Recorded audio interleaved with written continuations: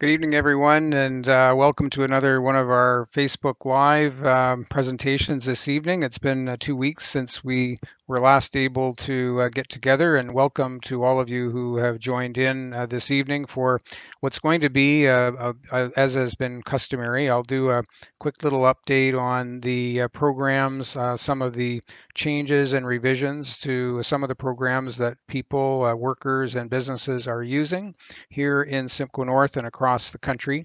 And tonight, we're uh, after we do those uh, brief updates, um, we're going to swing over to talk a little bit about the uh, the, the now the change in the mode that we're in as we uh, sort of walk our way uh, and manage our way through this uh, health emergency as we're starting to see here in Ontario the reopening of our communities and our economy as we're seeing the daily numbers of uh, cases start to go downward.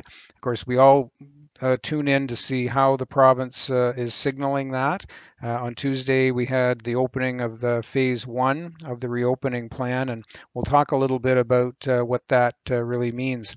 So, and then we'll go to your questions. I always look forward to receiving your questions on any of the items that we talk about tonight, as well as any other things that are on your mind about uh, how the federal uh, and or even the provincial governments, insofar as it uh, connects with the federal measures that are in place. Happy to take your questions. And uh, Curtis is on the line here again. Curtis is my uh, executive assistant, and he's got a few updates uh, just to kind of re refresh uh, everyone's memory on how we uh, we do the questions. So, Curtis, go ahead. Thanks, Bruce. As Bruce was mentioning, we are going to do the Q&A at the end of the town hall, as with previous town halls. Um, if you have any questions throughout the broadcast, make sure to add them into the comment section of the stream. Um, we're going to ask that everybody keep their questions as brief as possible and make sure you're not including any personal information. We just want to make sure we're protecting your privacy.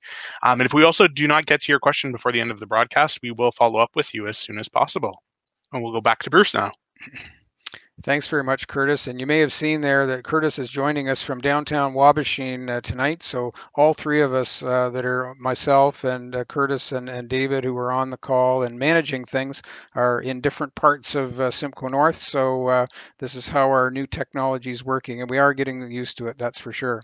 Vous pouvez poser vos questions en français ou en anglais. Uh, happy to receive your questions in French or English, and I'll do my best to uh, respond in the language, of course, that you pose them. And uh, towards the end, after we do questions, I'm just going to do a brief mention of a few other uh, topics that we, in addition to COVID-19, which as you might imagine, is taking the the by far the number of issues that we're dealing with uh, on on, the, on as far as at the office and through emails and phone calls. Uh, but there are other issues that are coming in that uh, constituents are uh, raising with us as well, and I'll just do a brief mention of those. So let's get get to our updates. Uh, first of all, on one of the big programs for businesses and workers, the Canada Emergency Wage Subsidy. we learned this week that that wage subsidy that was due to um, be finished, in other words, wouldn't extend beyond June 6th, has now been extended to August 29th.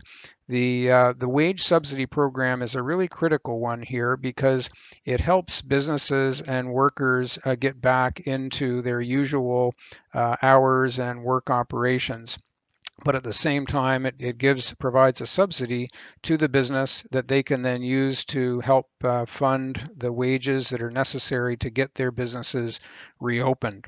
Uh, one of the key things as we, we see the multitude of people who are on the CERB, the uh, response, the emergency response benefit. I mentioned two weeks ago that that upwards of 20,000 people in our riding of Simcoe North could be availing themselves of that important benefit. As they transition off CERB to potentially a wage subsidized job, as employers ask them to come back, there's a few things to keep in mind there.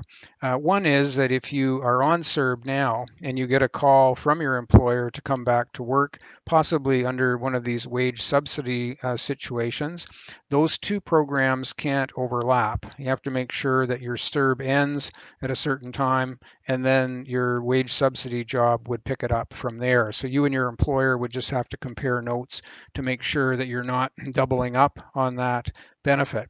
Uh, at the same time, if you um, you lost your job back in March uh, because the business was closed, and now that business is ready to open up, um, you really do have an obligation as a worker to to go back to work uh, at that call. Uh, CERB, there's a general premise that uh, if you are available to work and it's available, then you should uh, pursue that, and that would end your CERB commitment. Then, but of course, you'd be back at work. So those are a few things to keep in mind as we uh, as we sort of make that transition from the CERB benefit to possibly a wage subsidized job, and then eventually to when your business and your your job and livelihood is right back into full operation, and then uh, we'll make our way out of those income support programs in the time ahead. Another big change was with the uh, Canada Emergency Business Account. Uh, a change just this uh, earlier this week, as a matter of fact. Uh, the Prime Minister has mentioned that uh, they have changed the eligibility criteria for the CEBA loan. That's the $40,000 no interest loan uh, that's uh, repayable if you repay it by in full by the end of December 2022. You get 25% of it back as a repayment bonus. So you essentially just have to pay back 30,000 dollars if you had the full $40,000 loan. Um, and that loan is used for fixed expenses for businesses.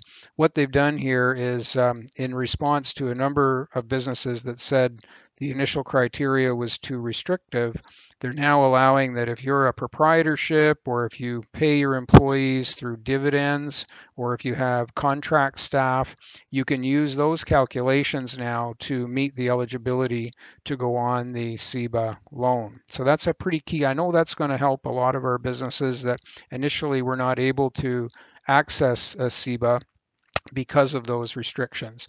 And uh, as I mentioned before, you still have to have a, uh, a 30% drop in, in income, business income, in order to be eligible for that loan. Um, well, moving on to uh, another fund that just opened up this week. We had announced this uh, some time back, uh, but now the all of the uh, parameters are in place to uh, to put that fund uh, in in place now for people, so they can actually go and sign up for that. And that's called the Regional Relief and Recovery Fund. Uh, that's going to be essentially here in Ontario managed through FedDev Ontario, and they're branches of what's called Community Futures Development Corporations. We have two of those here in Simcoe North, one in the North Simcoe end uh, for Midland, Penetanguishene, Tiny, and Tay, the North Simcoe Community Futures, and in Orillia, the Orillia Area CDC. So both of those organizations will uh, for businesses who were unable to access, for example, CEBA that we just talked about, or some of the other programs because of eligibility criteria, uh, the Community Futures Organizations is your stop to check and see if uh, you might be able to get something there. It would be in the line of a similar loan as to what is available through CEBA up to $40,000 loan.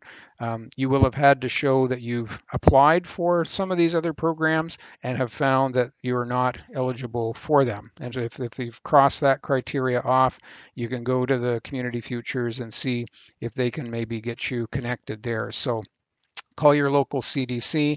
Uh, I'm told with their program, in addition to uh, having applied and found not to be in, eligible for some of those other programs, um, you will have had to at least been in business before March 1st. So if you, even if you were a startup business in January or February, um, you'd still be able to uh, make a connection there for uh, the loans available through your CDC. Um, there are some other uh, small and medium-sized business uh, programs available through FedDev Ontario for uh, those that might be looking for loans or support over 40,000, and that would go directly to FedDev Ontario.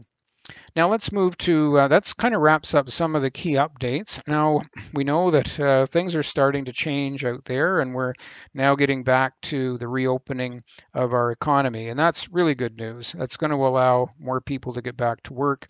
It's going to allow businesses that have essentially been shuttered uh, to at least get back to a point where they can uh, have work back, to get their customers back, albeit with restrictions still in place. We understand that. But Ontario has really set out a three phase, a three step process, all of it uh, based on the uh, Chief Medical Officer of Health here in the province of Ontario, their recommendations to the government as to when the right time will be to, for example, transition from phase one to phase two, when more uh, non essential businesses can open and presumably as we get towards phase three, um, the ability to have more gatherings of people more than five. Right now, we're limited to gatherings of no more than five, um, but as we go up the notch in terms of the phases in front of us, um, the likelihood that the number of people in gatherings can likely increase. Um, the province is always very quick to remind us here that um, if things start to go uh, backwards in terms of seeing higher number of cases, for example, they may have to reimpose restrictions. So we all of us still have a duty to do our best to make sure the restrictions that are in place around uh, social distancing and washing our hands and taking advantage of uh, any uh, or making sure that when we're in the proximity of other people that uh, especially if you can't maintain social distancing that you're wearing a mask. So um, that's um, that's a key part of this uh, program going forward and i do think that uh, as all of us as we've done so far uh, here and certainly in this part of the province i think we've done a really good job at uh, flattening the curve and making sure that we haven't overwhelmed our healthcare facilities. Now one of the key things as with reopening both workers and businesses will have to know what the rules are, what the guidelines are to make sure that you can run your business safely. And so the Ontario here again, and I'm pointing to the province of Ontario, has some excellent resources for this. You can go to the Ontario Ministry of Labor um, Ontario site uh, that's called Resources um, for the Prevention of COVID-19 in the Workplace, and that's a that's a site right on the Ontario page where there's a, an excellent resource depending on what classification or what category of business you're in. Some really good advice there around what to follow to make sure that you're abiding by the rules that are necessary to keep both you you and your employees and your customers safe um, and being aware that COVID-19 is uh, is out there in the community, and it can even be present in people who don't even have any symptoms. So we have to take all these precautions, and that's what businesses will do as well. So have a visit to that uh, website. Uh, also locally here, the Simcoe Muskoka District Health Unit uh, has some excellent uh, resources available, both in terms of uh, how to manage and use, for example, protective uh, equipment, personal protective equipment, the right methods for managing it safely, the kind of PPE that you might need in the workplace, uh, and also uh, some great resources on the health unit website for uh, all of the aspects of reopening your business. So I recommend those to you. Uh, all those, uh, again, very, very good, well thought out and very simple to, to go through and, and set up for your own business. One of the key uh, aspects of this reopening is the fact that, as we heard from Ontario officials, they told us starting several weeks ago that the phase one opening was coming and it's on its way and soon. And so get ready and be ready for when that opening comes. So I can't stress that enough. Um, the more you can use this time, if your business is not open now, um, use this time to get the get all of the PPE that you're needing, the uh, the the guidelines, the the rules, all the things. I'm sure that many business owners are doing this already, but it's just a, just as a not a caution, but a suggestion, a recommendation to look at uh, getting some of that advance work done now so that when Ontario makes the call that, hey, we're at phase two and now a whole bunch of new businesses can open, you'll be ready to go. And you, there'll be no delay because one of the assumptions in all of this is, is while your business may be on the list in one of these stages that can now reopen, you can't reopen unless you have all of the apparatus in place to allow that to be. So uh, get going on that uh, while the time is. And that sort of takes us to uh, another uh, area of uh, planning and, and organizing for your reopening, and that is the necessity of having uh, personal protective equipment. Um, each kind of business environment is going to need different kind of equipment. Um, you, there are excellent, uh, again, resources available to tell you what you need.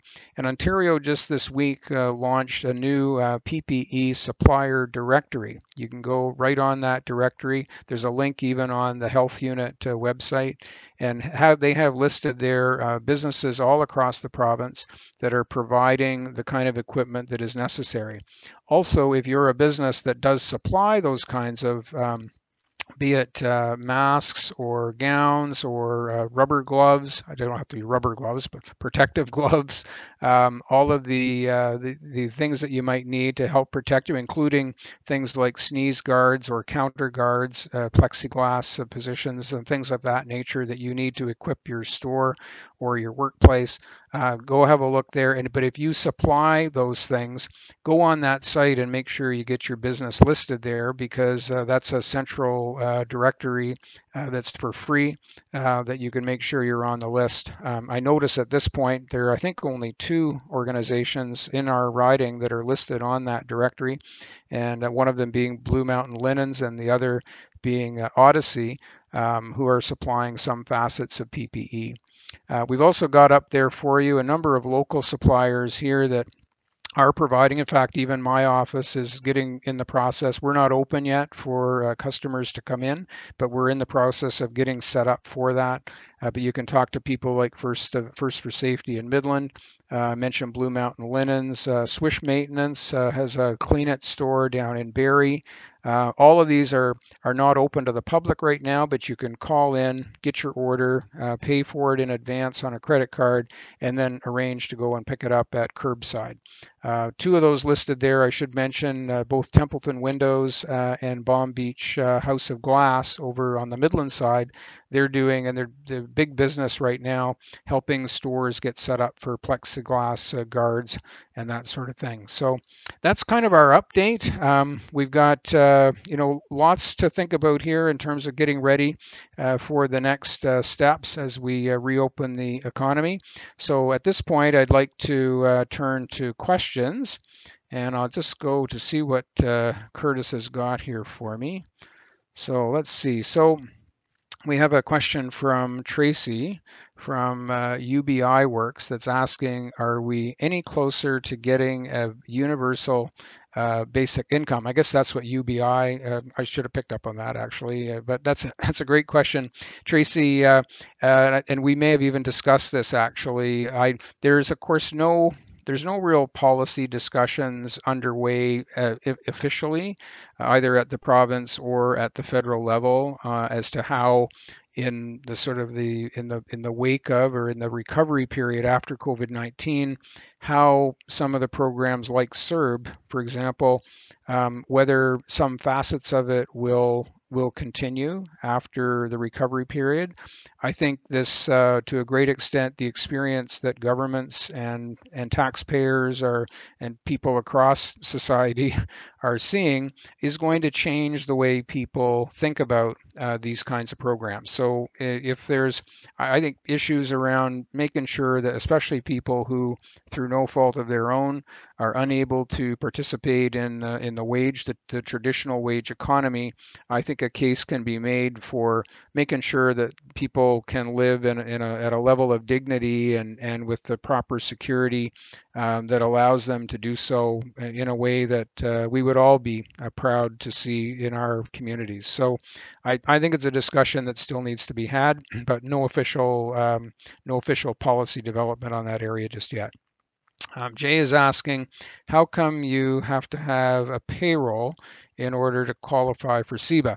Well, actually, Jay, uh, a key question there, you actually don't need to now. Uh, so the original rule was that you had to have at least $20,000 in payroll. So under these new rules, um, if you even if you have no payroll per se, let's say you're a proprietorship and you all of the money that you get from your business essentially goes into your personal uh, income, um, you can, as long as you're, you can show that that's income being generated by your business, um, you will qualify for CEBA.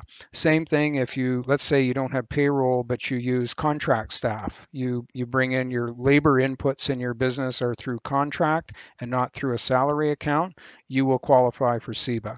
And the same thing if you take your money out of the company in dividends. Dividend income will be considered eligible for CEBA. So I hope that uh, will clear that up. If you have any um, further uh, questions on that, give us a shout at the office, Jay, and we'd be happy to help you with that. Uh, Rob is looking for an update on the Trent Severn Waterway. You know, Rob, just this evening I, I got a, an email uh, from, it was through our local Chamber of Commerce to say that uh, next week I've been invited to go on a call with some of the officials from the Trent Severn. At this point, their official position is that there is no uh, reopening, that it remains closed until further notice. Uh, you may have seen that some national parks are open for uh, day use only, and so, you know, and in limited numbers. So that's not what I would call a real opening of uh, Canada's uh, parks and historical sites just yet. Um, but uh, stand by, and I think we'll see those opening up um, in in the near future. As I think really much of that is going to be gauged on how Ontario uh, starts to get closer to its phase two. But I can't. Uh, I don't want to say for a moment that I'm. I can predict, you know, how that decision-making process is going to go. Uh, suffice to say, we'll we'll we'll certainly feed that kind of information up the line.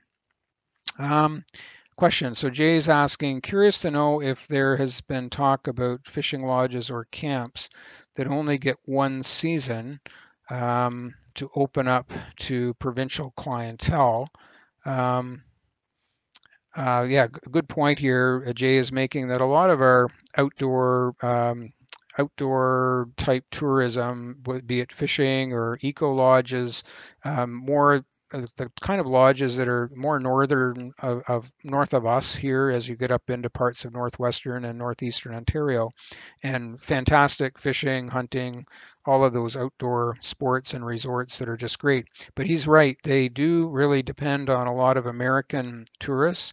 And so in insofar as lodges per se are not uh, I don't are not going to be restricted from uh, overnight accommodation. I think that's something we would want to clarify. Um, they may not be able to have visitors come in from the U.S. Uh, and currently that U.S. restriction is in place until June 21st. Uh, whether it'll open up after June 21st will probably have a lot to do with how the U.S. is doing in terms of flattening the curve there on uh, on this COVID-19 but um, we'll have to nothing we can't say for certain when that uh, border is going to open. So I, I think if uh, lodges are able to open, if they can tailor some of their products to uh, Southern Ontarians, and I would say generally, you know, tourism and travel businesses are going to be among, and food service businesses are going to be the most hardest hit in this uh, COVID-19 um, health emergency. And if more Canadians and Ontarians can travel, if they once we're able to, to travel in our own province, that's going to be a real help to our home-based uh, businesses.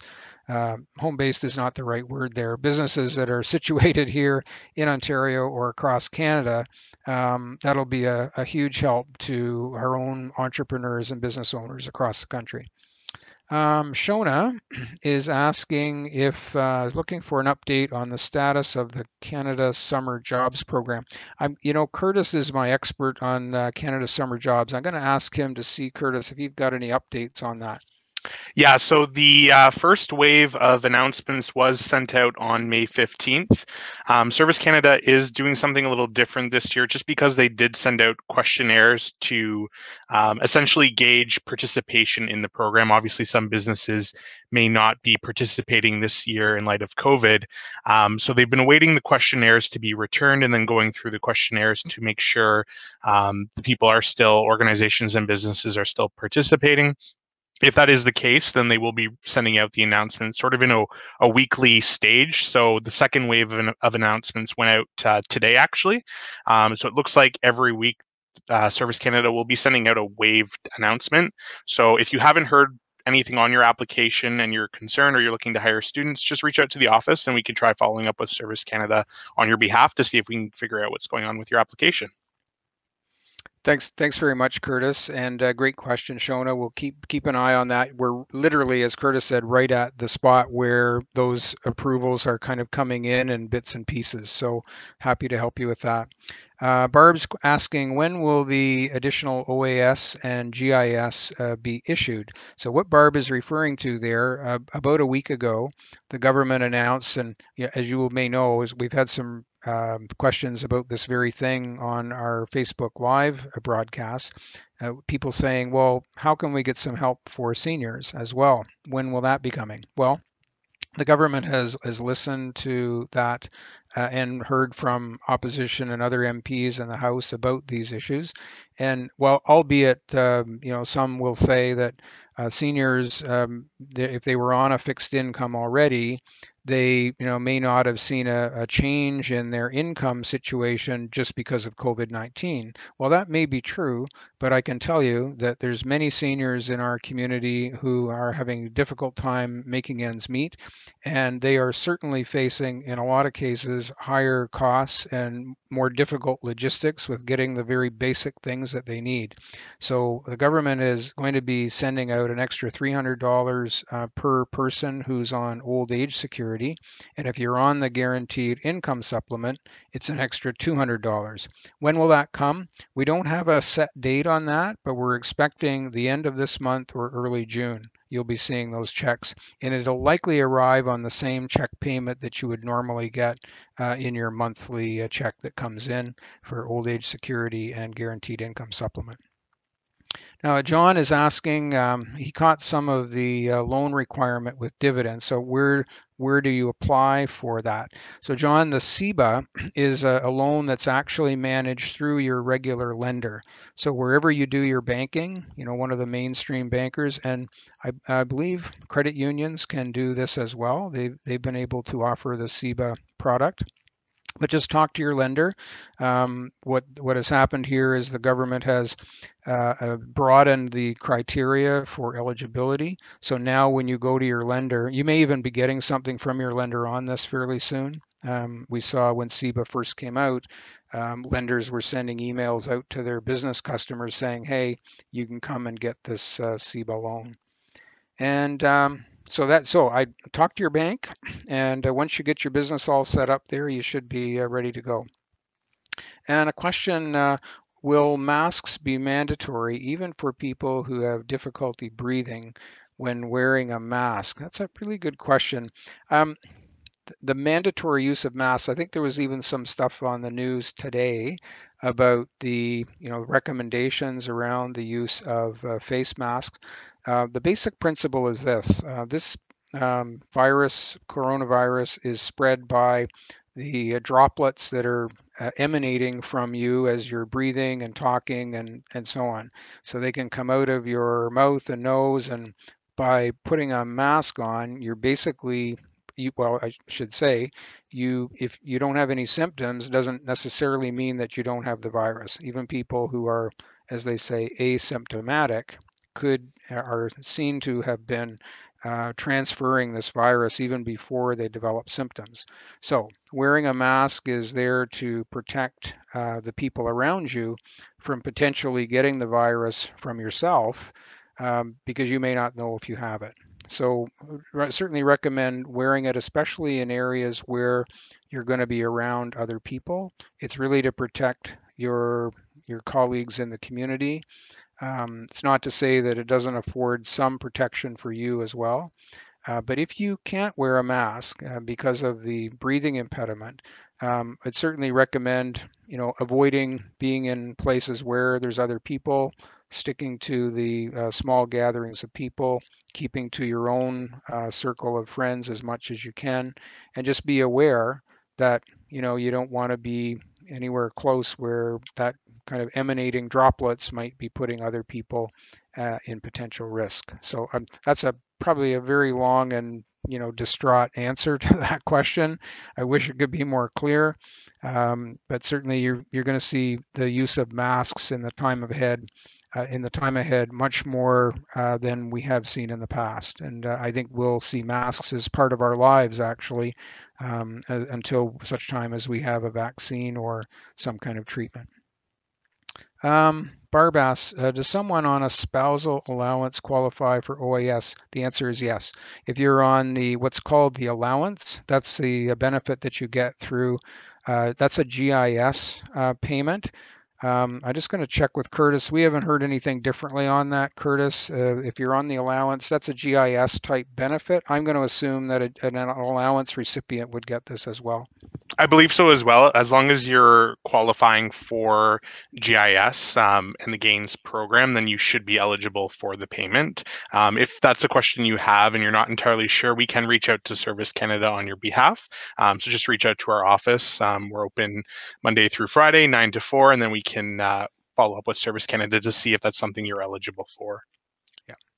Yeah, so really good question there. People on allowance, this would be someone who's living with uh, someone who is uh, 65 or over, a spouse, um, but they're they're not pension age yet, so they're age 60 to 64. But if you're living with someone who's getting OAS after age 65, you can get the, what's called the allowance. So um, that's a very good question. Um, Shona is asking, it seems university are going online, but few colleges have made any announcements uh, for the fall. Um, as how, why is that? Boy, I tell you, Shauna, I really don't know that one. I, I think that would be a question, obviously, for the colleges. I think ev- I am certain that every one of these post-secondary uh, institutions, colleges, and universities are figuring out how they're going to go forward. Many of them, of course, have canceled convocations and had to do some kind of modified finish to the spring 2020 term. But as they go into the fall, I mean, they're they're going to want to have enrollment. Like they're they're really going to have to have something going, if, and it's unlikely that they're going to be back in traditional classroom situations. So here again, online learning is going to be probably a big facet there. But I would I'd recommend contacting the colleges directly. Um, and do uh, do I think that they will take all post-secondary online, um, and perhaps get a break on tuition. Um, it's too early to tell on that one. I, I'm I'm gonna have to say I, I am doubtful. I guess maybe I'm too skeptical. it's possible, you know. We like other parents. I mean, we've we've had our uh, kids go through uh, post-secondary school as well, and and paid for tuition in the same way everyone else does. And you do your best, and the kids do a little bit of work and try to contribute as well but it's not inexpensive, and uh, a little bit of help uh, would would certainly be uh, conceivable there. But um, great uh, great questions to follow up on, Shona, and thank you for raising them because that's certainly going to be on the minds of students, uh, students who I hope, if they're not able to work, have made access to the the emergency student benefit, which opened up last Friday. So hopefully that's helping out. Um, question here, Gail is asking, any talk on easing the restrictions on the border to allow loved ones to come into Canada from the US? Um, so Gail's on a key point here. There is um, no uh, non-essential travel, uh, or put another way, uh, only essential travel is allowed across the border into the US. So that's for supply lines and shipments to keep the economy going uh, in even in the state that it's in to keep goods coming across the border uh, so that our grocery stores and other shelves are stocked and we're getting pharmaceuticals and all those things.